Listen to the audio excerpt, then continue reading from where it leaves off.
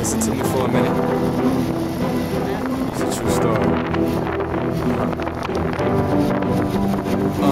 Yeah, she was looking for a friend when she fell in love. She could feel the heat coming through her winter gloves. How could something invisible feel so real? Realizing she has more than just sex appeal. The first guy in a long time that treats her right. He tells his friends about her, and he's just like, boy, she bad as hell. She got a nice ass. Ever since I saw her in class, wanted to smash. Now she tells her friends too, but it's a little different about how he came and unlocked the gate to her prison and opened up her heart, and how she knew that she was taking